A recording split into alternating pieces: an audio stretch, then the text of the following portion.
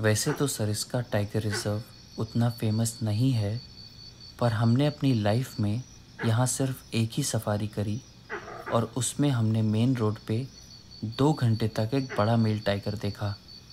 सरिस्का का सबसे मशहूर बाग, युवराज। एक समय पे सरिस्का ने अपने सारे बाग खो दिए थे। युवराज जैसे बाग सरिस्का को एक नई उम्मीद देते हैं।